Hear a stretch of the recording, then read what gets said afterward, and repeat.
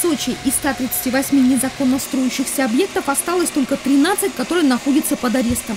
14 домов снесены по решению суда. Тем не менее, в интернете продажа проблемного жилья продолжается. И такая работа риэлторских агентств, а их в городе около 200, вызывает возмущение со стороны властей. Продают квартиры еще на стадии котлована или только фундамента, или если по данным объектам ведутся судебные разбирательства. Продает как легальные агентства, так и маклеры, работающие только на себя. А для многих жителей и гостей города это оборачивается иногда трагедиями.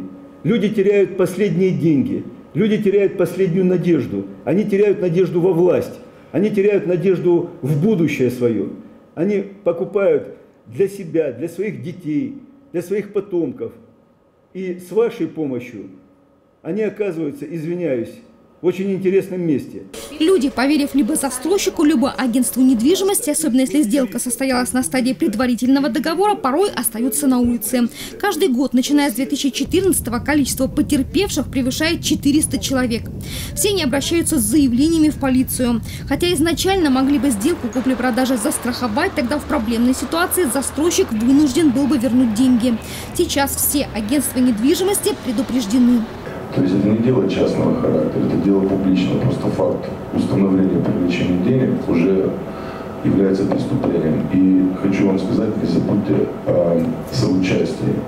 Если вы в данном случае э, осознаете, что объект недвижимости незаконный, тем не менее оказываете э, помощь в виде э, покупателей, это инкриминируется будет в дальнейшем как соучастие. Однако даже те риэлторы, кто имеет хорошую репутацию, не всегда могут гарантировать клиенту беспроблемную покупку жилья, поскольку у Госстройнадзора уже в финале строительства могут возникнуть весомые аргументы в отказе приема дома в эксплуатацию. Ассоциация гильдии риэлторов Сочи, существующая с 2009 года, готова подключиться к диалогу с властью и выработать единый механизм работы рынка продажи жилья. Тем более, что на сайте администрации города есть списки домов, внесенных в черный список, приобретать квартиры, в которых не рекомендовано. Вам нужно организоваться, чтобы знать, с кем вам по пути, а с кем не по пути.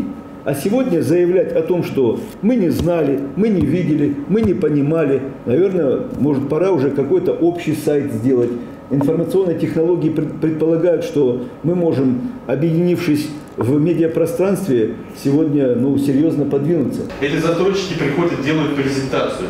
Мы, как ответственные компании, агентство недвижимости, не берем на продажу, но мы повлиять не можем. Поэтому если построить вот этот диалог на самом деле, э, выработать определенный комплекс мер, то нам получится изменить эту ситуацию, потому что мы первые, мы первые сторонники за то, чтобы убрать эти объекты, на самом деле, чтобы не было этих обманутых дольщиков. Нарекания прозвучали в адрес рекламы, которая вывешивается на фасадах зданий с информацией о продаже жилья. Такая несанкционированная реклама агентств недвижимости портит облик курорта. Теперь за это будут введены серьезные штрафы.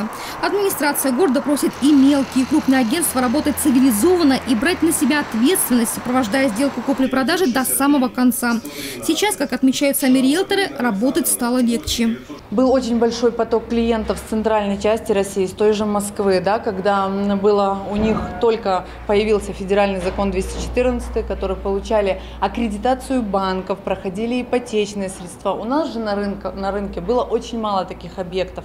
На данном этапе все больше и больше застройщиков стремятся работать по всем правовым нормам правильно. В Сочи создается рабочая группа, которая объединит администрацию, застройщиков, клиентов и риэлторов.